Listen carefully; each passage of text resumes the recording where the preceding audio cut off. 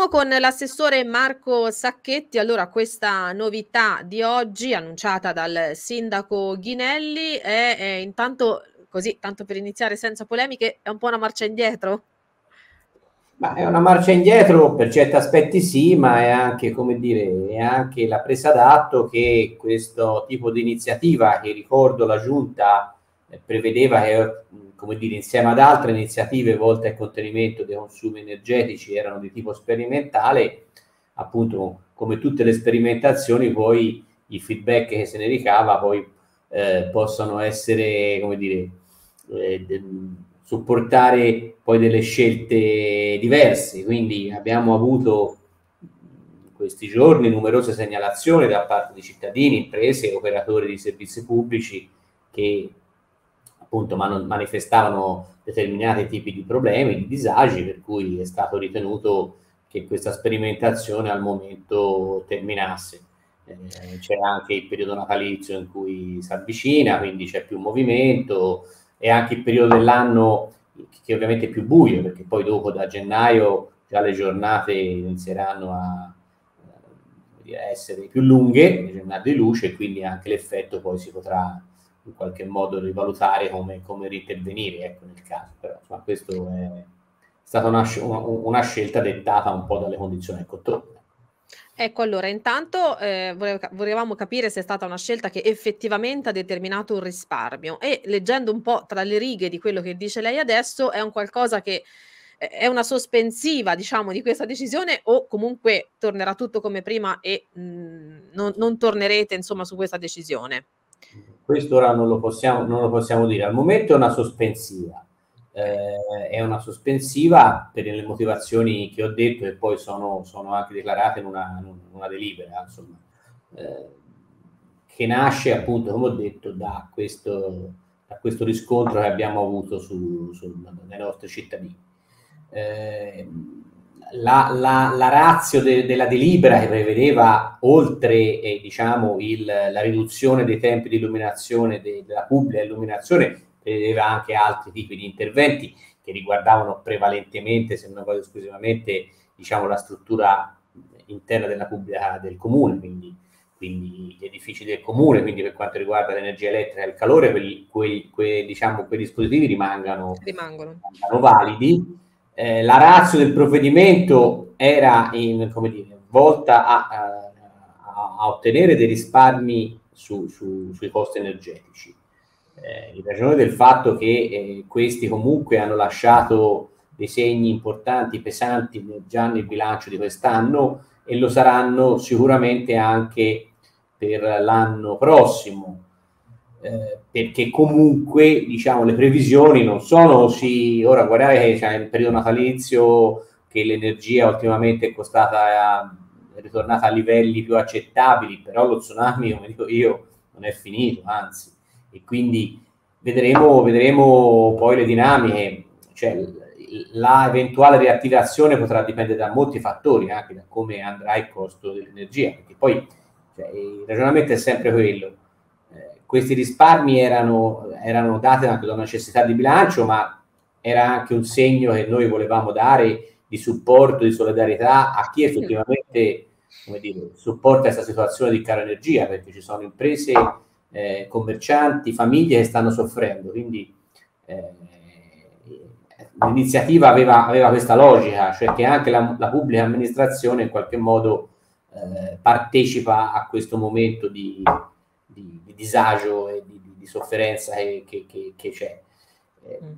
quindi, eh, nasce su questo, il principio secondo me è ancora valido, poi chiaro, eh, un amministratore deve anche trarre delle conclusioni sulla base di quelle delle risposte che danno ai propri cittadini. Quindi, sì, anche perché, eh, e questo lo, lo, ha già detto lei all'inizio, insomma, dal punto di vista proprio anche del commercio, forse sicuramente il segnale eh, di, di, una spending review c'era, ma eh, c'era anche però di contro, insomma, un disagio importante che vivevano anche proprio le attività economiche per via di questo dispositivo. Va bene, quindi insomma abbiamo capito che è soltanto una sospensione, ma non ha risposto alla domanda sul fatto che, o quanto perlomeno sia quantificabile, se c'era davvero o no un risparmio proprio economico economico dell'ente o non siete stati ancora in grado di capirlo magari? Economico, mh, qui tenderei anche a, a, fare, a, a, dare dei chiarimenti perché su, su, sul web, sulla stampa sono apparse, come dire, tante notizie sono in qualche modo prive di fondamento. Eh, è ovvio che eh, il servizio di illuminazione pubblica è, è, è, in mano a un concessionario, che è un gestore che ha vinto una gara pubblica e gestisce il funzionamento della pubblica illuminazione. Questa gara non prevede ovviamente che eh, i costi energetici siano eh, a carico del concessionario, cioè le variazioni del costo energetico sia a carico, perché qualcuno sosteneva, dice ma siamo giù dei risparmi perché se l'energia elettrica aumenta, se lo, i, l'extra costi se le sostiene il concessionario. Assurdo, follia anche perché il giorno dopo potrebbe richiedere la risoluzione del contratto per eccessiva onerosità per causa di forze maggiori, è un classico dei contratti questo, no? Cioè se mi piove da uno tsunami non è che posso, perché ho firmato un contratto, eh, lo posso sostenere, quindi non è così i risparmi stimati sulle due ore di, diciamo, di non accensione erano stimati per il 2023 eh,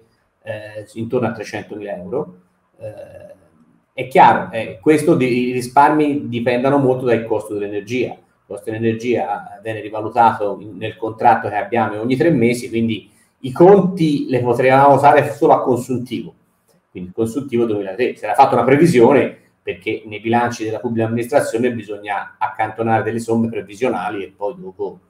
eh, e dopo devo fare i conti finali. Eh, lo scenario non è bello, ribadisco il concetto, quindi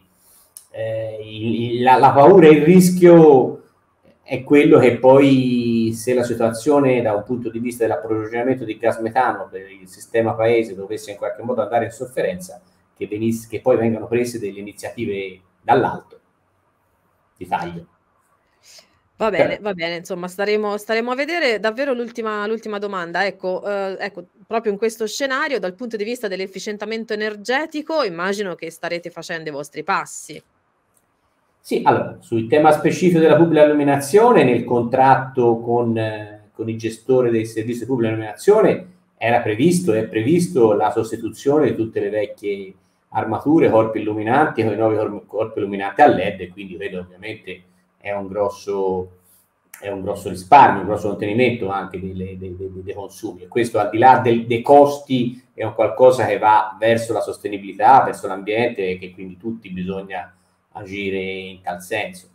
Eh, poi eh, sul patrimonio immobiliare, patrimonio edilizio, in particolar modo le scuole, è stato fatto tanto negli anni, perché comunque sono stati fatti, grazie a dei finanziamenti anche nazionali, degli interventi di efficientamento energetico, quindi la sostituzione delle caldaie con pompe di calore, eh, la sostituzione degli infissi, in qualche caso impianti fotovoltaici, eccetera, eccetera, eccetera. Sul patrimonio edilizio storico si può fare poco, cioè perlomeno lì gli interventi sono più complessi, quindi il problema lì, diciamo, rimane. Eh, però, insomma, su questo stiamo lavorando a, a, alla, alla, costituzione di una, di una, comunità energetica in cui il comune eh, diventa parte, è, è parte attiva, promotrice, e anche questo è tutto nell'ottica, ovviamente, non tanto di ridurre i consumi, ma quello di avere approvvigionamento da fonti rinnovabili senza dipendere da, dai gas della Russia. Ecco. Certo, tra l'altro su questo argomento so che c'è stato un passaggio anche un po' bipartisan in Consiglio Comunale, sbaglio? Su cosa? Una, cioè, stata, era stata una proposta tra l'altro da parte della, della minoranza che poi era stata accolta sì, sì, la proposta della minoranza, cioè sì, è accolta, nel senso ci stavamo lavorando, non è che esatto. abbiamo accolto, cioè, nel senso è, è ovvio, cioè, è, sa, sulla comunità energetica se ne parla tantissimo, è sulla bocca di tutti, è il tema sì. dei temi rinnovabili, poi dopo da dire il fare c'è sempre di mezzo in mare, come si dice in, in Toscana lato Firenze, però ecco, eh, quindi stiamo lavorando per cercare di mettere a terra questi progetti, queste idee, siamo a un buon punto, penso entro fine anno forse si riuscirà a presentarlo alla stampa, la, la nostra idea di comunità energetica, eh, sì, è sicuramente la risposta a breve che il sistema paese anche Arezzo quindi può dare ecco, a cercare di, di, di avere approvvigionamenti energetici da fonti rinnovabili. Benissimo, benissimo. Sicuramente andremo avanti ancora tanto con l'assessore, ma insomma ci sarà modo magari di, di ritrovarsi e di allargare il tema anche secondo me all'impianto eh, se non sbaglio, se non ho capito male, in questo l'impianto di San Zeno, insomma, che è sicuramente strategico in tutto questo eh. disegno, in tutto questo disegno. Per adesso la ringraziamo e le auguriamo buon lavoro. Grazie.